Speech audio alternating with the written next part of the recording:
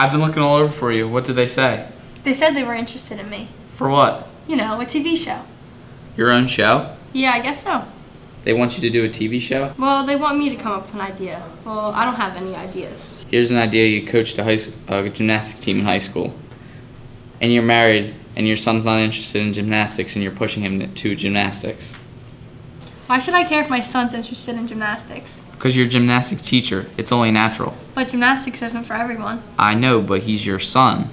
So what? Alright, forget that idea. It's not for you. Okay, okay, okay, I got it. You run an antique store. Yeah, and? People come to the stores, and get involved in their lives.